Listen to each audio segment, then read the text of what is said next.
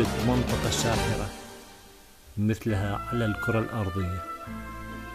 في أيامنا هذه في عالم الشرق الأدنى. ساحرة لأنها كانت مهد لبعض الحضارات القديمة التي لم تتبقى لنا منها إلا الأسماء. الكثير من الأمم والممالك نهضت وسقطت خلال قرون من صراعاتها. ومن بين كل تلك الأمم التي عاشت وصمدت طويلا هي أرمينيا.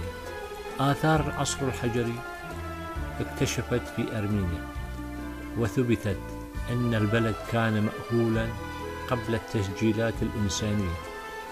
سفينة نوح جاءت لتستقر بعد أن هدأ الطوفان على القمة الكبيرة للجبل المعروف بقرارات.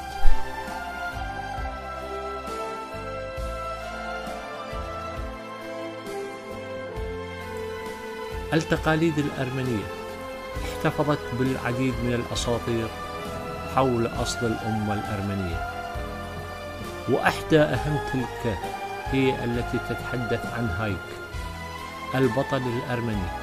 الذي سمى اسم الأمة الأرمنية على اسمه. هاي والبلد هايستان الشعوب المجاورة دعوهم أرمن أو الأرمن لكونها من أحد الشعوب القديمة بالعالم مع الآشوريون والبابليون والفرس. كذلك هي أحدى مراكز الحضارات البشرية.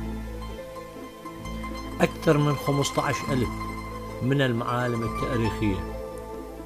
أقدمها أكثر من ستة آلاف عام. ثبتت أهمية أرمينيا تاريخيا